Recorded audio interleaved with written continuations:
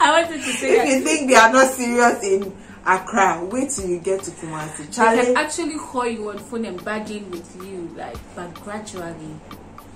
These Accra people move to Kumasi and influence these landlords and be like, oh, your rent is too cheap. Just keep quiet. You came to braid your hair for 100 cedis. Keep quiet. Mm. like it's, it breaks my heart because the last time I was telling one of my colleagues, I new words of that they're crying. I don't have any words of encouragement for them. But one thing that they So do they that should really- go. They should go. but one channel, how to get to Canada, how to get to the UK. Ah, we are Okay, tired. In 2024, that trend has to stop. Hi, lovely people. Welcome back to my channel. It's your girl Oforiwaa Duodu. If you are new here, do well to subscribe and join this lovely family. I've got loads of lovely videos and even better ones coming up. Make sure to watch, like, share your thoughts with me, and share with friends and family. So in today's video, I'm going to start a series which I have named Surviving in Ghana. On this particular episode, I'm going to interview an entrepreneur. I don't want to spill too much without wasting much time. Let's get straight into action.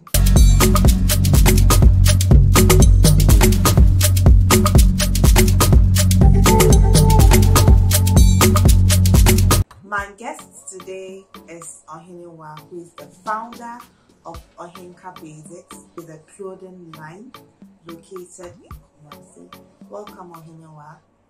Thank you for your Okay, what's your full name? Ahinewa Edisek. And how did you get into this field? It was passion, actually. I had to follow my passion because I've been through some comments that I wasn't really comfortable. But I believe in my passion, so I decided Can you share with us your background, educational background? Okay, so for primary school, I went to lots of primary schools. I don't even want to mention because I won't be done. But then JHS, I went to um, but I completed at Palma. And SHS, I was at Konongo University Senior High School.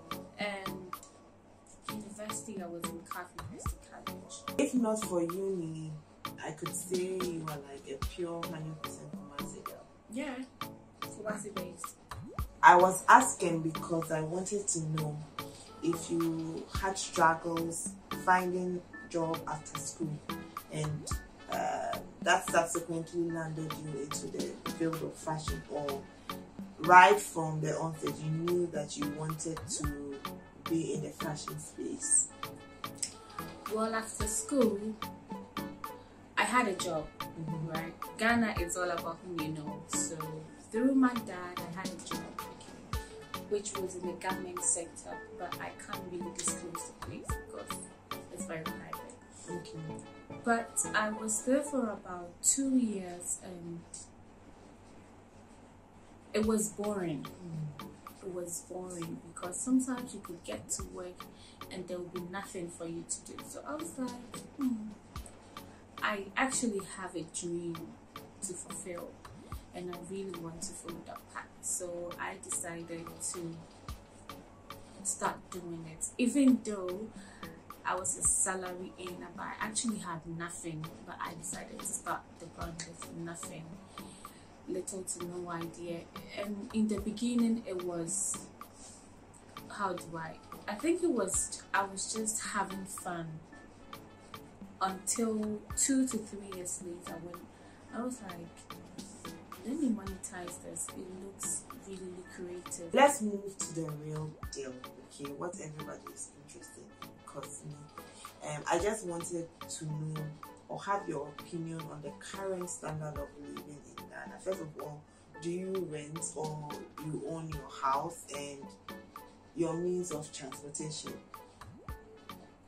Well, I don't rent. I have a house in no, as in I have a house, but I live in my mom's house. Mm-hmm. Okay, and um, I do Uber and Bolt a lot.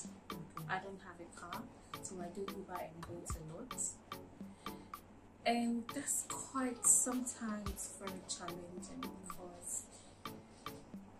like Uber, no, Bolt actually, when you order a ride, you budget for like 25 cedis, it comes at 25 cedis, you get there and it's around 45 cedis. Mm. Imagine if I had just 25 on me when I was ordering the ride. I get there and it's more than that, so sometimes it's a bit challenging. But that's Ghana for you. Yeah, the Bolt app itself, eh?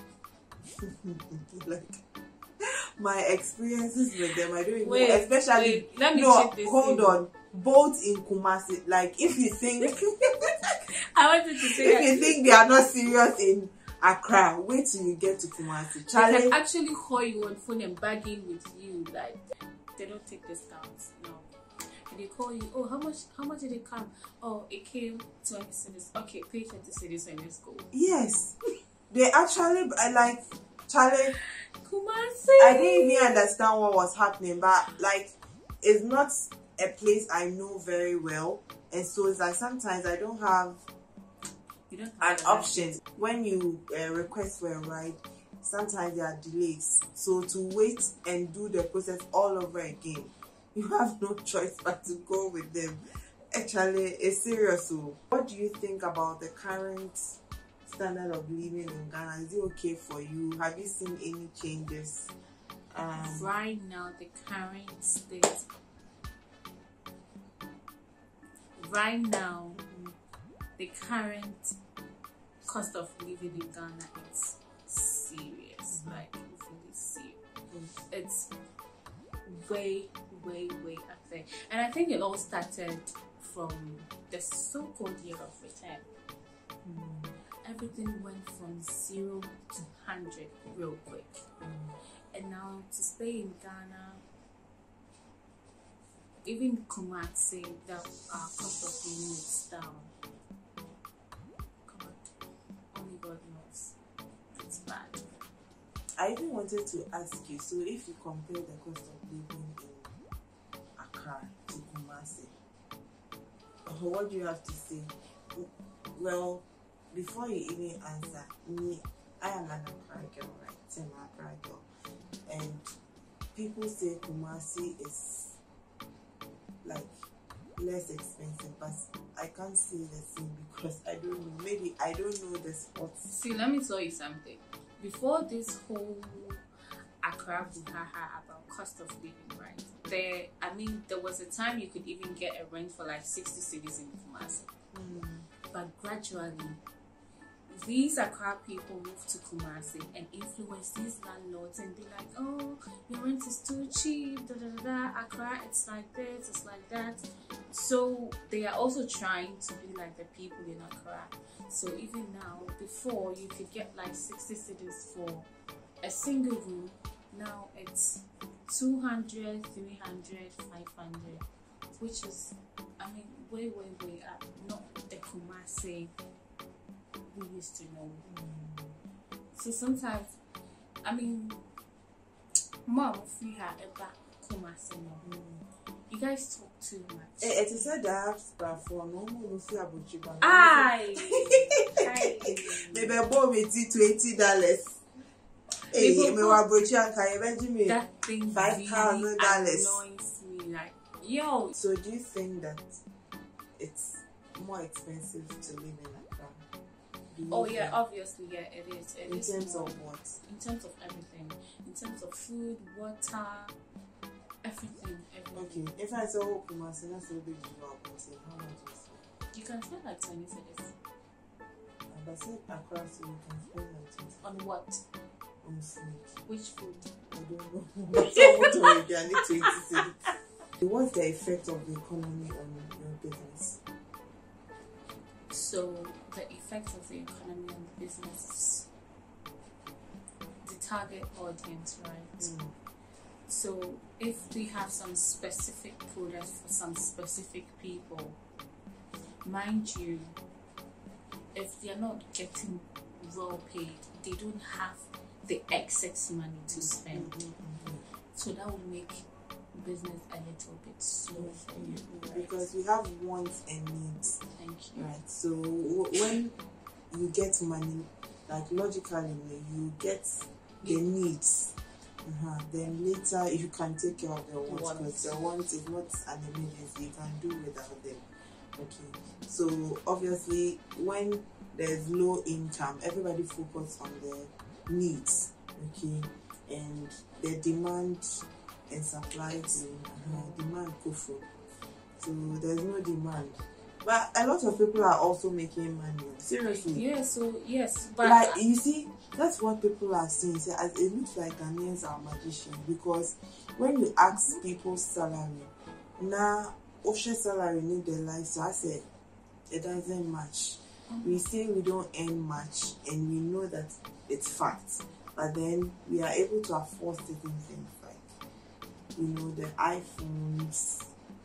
It's say the Apple stuff, you know, the if you are not using Apple stuff, you are not part of it.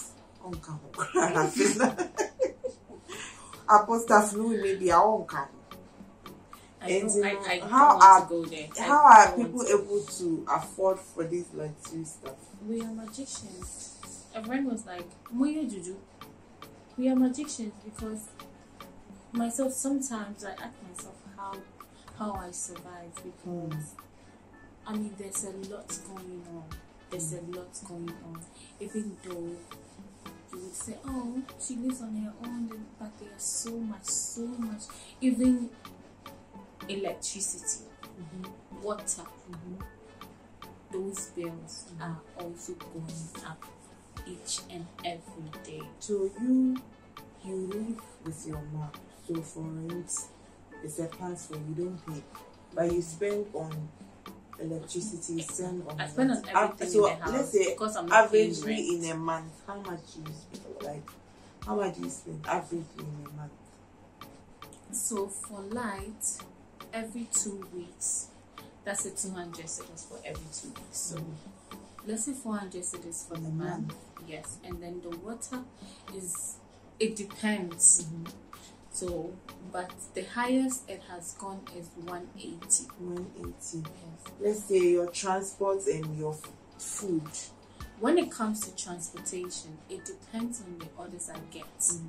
Okay, most of the time I But averagely, you don't have to be specific, but roughly, how do you when you're budgeting for the month? So, so this, so this is it, right? I don't buy fabrics. Well, my my supplier actually passes in front of my house to his house. So when I need fabrics and I talk to him, he will drop them by my junction where I pick them up to my place. So it's easier for me to get fabrics sometimes. So it's not every month that I budget for transportation to get fabrics. And when you are sewing these things, when you buy these things, like you buy one yard, one yard, one yard, it won't help. So most of the time I buy in bulk. So there could be like two to three months I haven't even stepped foot in town. Mm. Unless it's very urgent for me to go get something, then I'd have to go. So that's the business side of things. But me, I was talking to maybe I didn't clarify. I was talking about the personal side of things because we are talking about the amount you spend on electricity and Yes. the amount you spend on water. Those are like personal stuff. Well, when it comes to So I just- I just I wanted think- to know, like I think it's only on personal- Sundays. Mm. On Sundays when I'm going to church. Yes. And most of your things, you have your your workshop and everything around Around, you, so you don't want to do in and out. Okay. And what else do you spend on? Let's say maintenance, beauty stuff. Hmm. Maintenance. Yes. Beauty stuff is Self care. oh, that's very expensive. Yeah. So averagely, how much do you spend on that in a month? So, in a month, washing my hair, I think it, it will just be washing my hair and my nails that has to amount to like 350 cents. Mm. That's just washing my hair and my no, I won't tell you, go in your shit. Hey, They're not, they're not, they're random. They're random. Nah, often. I can't do it every month. No. Okay, then that means you Yeah, okay, you don't spend so much. No, so I much. try. I try to. I try to live in my own box. Mhm. I don't. I, I. I- don't like to do stuff out of the box. No, I plan ahead of time. Yeah. With everything that you're saying, it means that for you, your earnings is enough for your daily. Not up to, but we manage. You're dressmaker. Do you have any other side hustles? I do sell fabrics. Yes, my mom sells fabric, and then I help her with that. yourself. Okay. So you help and you get some extras from them. Exactly. Yeah. Okay, so let's say you have two sources of income. Mhm. If you are given twenty thousand dollars today, then I'll Twenty thousand dollars. Mm. Well, I have a goal this year, right? Hmm. I need a showroom. So I think that would be my first priority when I get the money. Hmm. And the second one is to train people hmm. for free. Wow. Yeah, for free.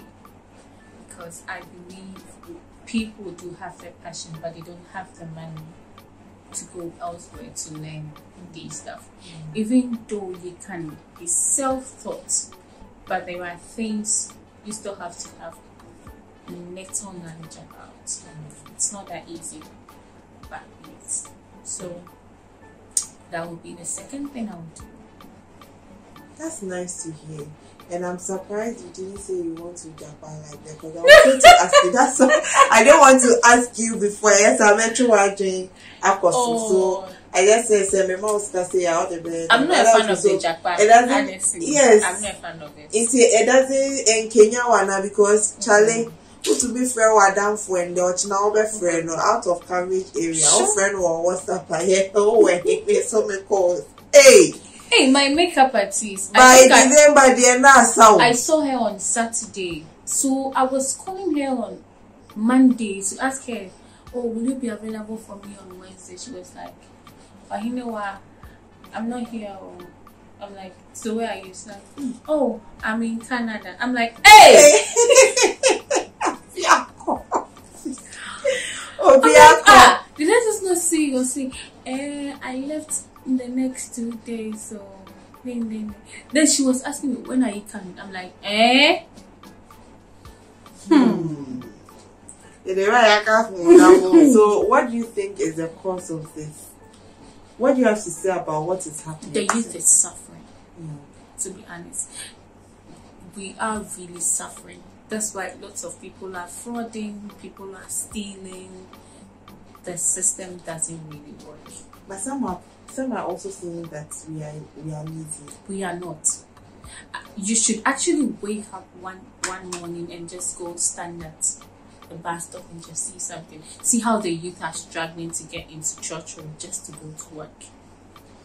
Do you think they are lazy people?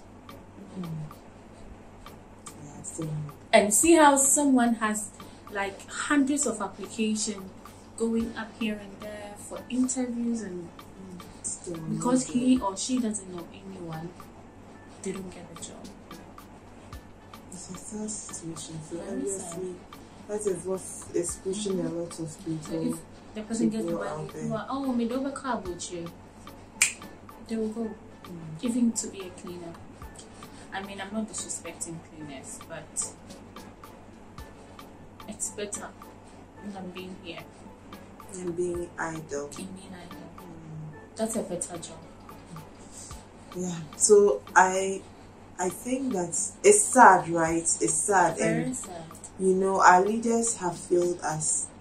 Like you have so much expectation. They write so many lovely things in their manifestos and you mm-hmm. know it doesn't matter how many times they come into power and fail us for some reason maybe when you resume say oh this person will be bad. Things will look better or things will turn around. But it, it looks like they are all the same. But i also strongly believe that they are just a representation of the people at the bottom. That's what i always see. because ghana any any power or nyansa or all the words you want to hear. Ne nyinaa kyerɛ then now if you give the person power that's where you see proper shading so i feel like the people up there they are true representation of the people that are at the bottom and also look at the way your politics you know even um npp for your prime minister me follow me follow almost it was all over the the news because I said on about me there's a lot of friction back and forth. Ọmọ yẹn wọn nim sẹ ọmọ interview obi no ọsi ntiẹ ọno ọtọ ma papa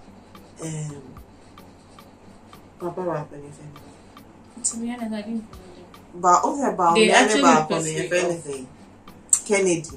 Ọsị ọtụma Kennedy because ọnụkụrụ a onye a be ọnụkụrụ a like onye vice president na onye position bịa ọ gọọmenti ọnụ otu mma azụte 250 na ba omi ọnụ wa abem ọmụ ụma na 3 fifty. Ana biribi saa comparison bi saa nti ọno deɛ deɛ ɔmo a ne sika kɛseɛ no ɔno mo ɔyɛ dɛ ɔtɔ maa no so can you imagine if you have to spend this much?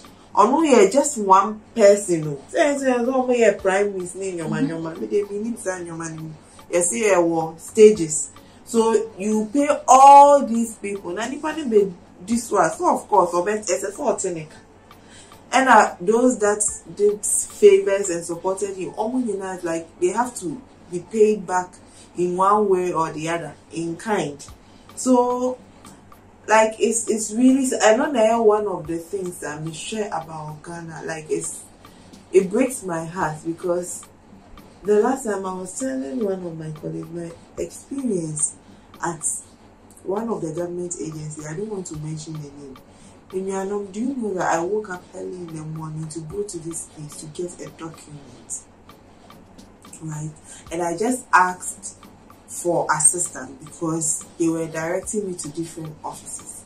And because I don't know the rooms, I was asking, oh please, I'm, I've been directed to go to room so so and so. Where do I pass or where do I go? Oh, pass it, pass it. So I was going up and down. So this young guy saw how I was going up and down. He said, oh, let me help you. He didn't say it, but I think that was the intention. He took the documents and then he led me. I was I went there very early because I know that that place can be very cheap. So I went very early. Then payment and so on. And beside guy so oh, Diahina met you. Ɛnyɛ me mpo na mebisa no he said oh ɛdeɛ ma me sika no na menyɛ dɛ menkɔtua ma wo." na mebisa so how much that he said 450 I said ah but the thing that I was doing the document I was working on I'd already um done the process before but it it was about three or four years ago right? So I knew the process and that time I I did it myself too. I didn't ask for um, any good person to help, right? I went to the government organization and then just I was just as I was doing, I was asking, please, where do I go next? Where do I go? And then I was directed, I did everything. And at that time was 100 and something. So now when the guy said 450, I said, ah, but you know, so I started blaming the government. I said, ah, now government, I didn't know be almost taxi and sir. Because I did my baby, I told him, and I had the receipt. I showed it to him. I said, I've, I've been here already. I've done this before, and this is the amount I paid. And just after two or three years, this is uh, the amount we have to pay now. And he said, Oh no, that's not the real amount. Now you will have to sort some officers out to fast track the process. I said, What? I said, The last time I came, I came here, I did it myself. I didn't have to pay anybody. I said, Don't worry. You would you wait forever if you don't pay. I said, don't worry. I don't want to waste your time. So please hand over the document and then let me continue from where you've, reached. And then I thanked the guy and said, don't worry, you go back to your office. I don't want to waste your time. So let me just continue with the process. I took the document and I know I went with Mantua Zero Ghana, Mantua One Ghana City. Office a BNB Samishri and I made it. They call bank say me come to make it, me go make it payment. Two hundred. So can I say two hundred and six and I could be Hmm. Hey, Ghana. nti ano ba two two two two two two wei adeɛ no a mebɛyɛ no koraa no two hundred and some two hundred and six o sɛ two hundred and ten wo ba bɛgye 2.5 250 wɔ so akɔdi kwa ɔbrɛ a mema sɔre anɔpa ahemakye because i wanted the process to be fast right? I went to the main office and i i live in at that time i was coming from tema. So i left the house at dawn just to get there that early. And i'm a client so i went to sit there for a while to wait for the boss Mia me tutu me naya, but I wasn't sitting in the house and asking for help. I actually went there myself. Now on that premises, no, onye guru guy, obi oye juma wo, Mm-hmm. government agency, he works there.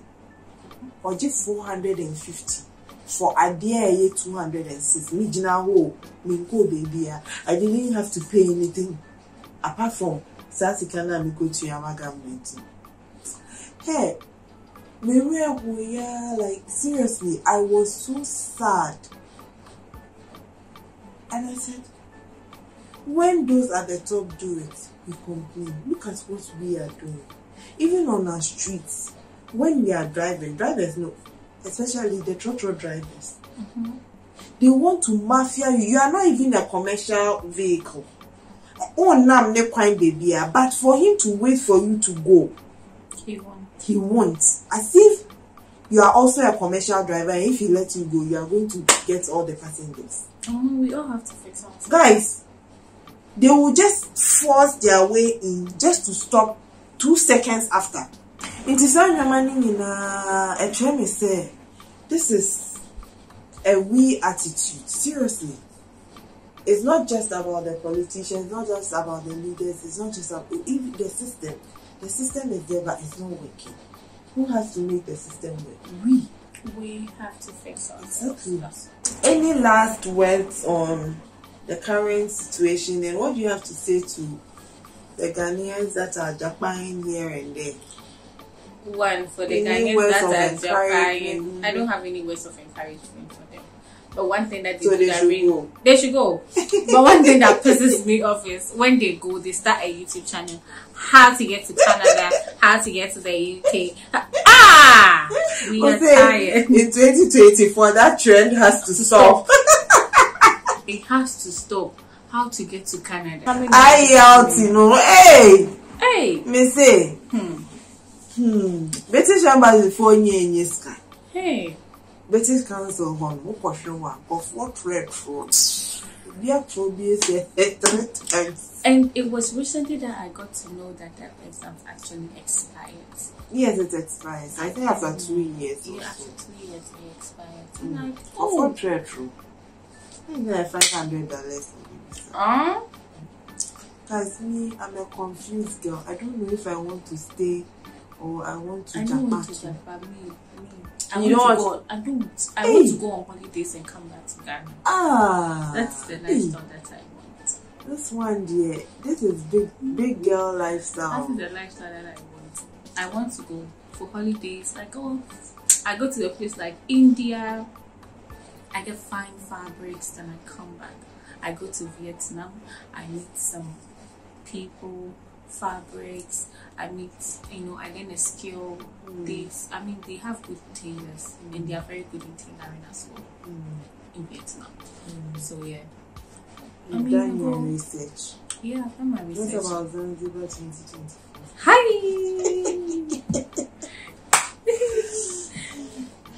Zanzibar 2024. Mm, It's coming on live in colored. Mm. Yeah. This time around, yeah, it is coming on. All right. Thank you so much, Ohenca, for gracing our show. Uh, go ahead and share your social handles. Oh, Ohenca everywhere. Ohenca, I don't do Facebook, so my website it's Ohenca www.ohenca www.ohenca.com and on Instagram it's just Ohenca O H E N C A. That's the name. Thank you. guys just by she coming here to chit chat and you know have this great conversation make sure you go and follow okay do the needful and share her handles And subscribe to Her her post. YouTube channel. thank you very much on that note, Yakramo will be out. I hope you picked a thing or two from here. For her, she did Ghana for life. She doesn't have plans on relocating. What about you? Share your thoughts with us in the comment section. Let's engage there. I'll see you on another episode. Makram, I'm out. Bye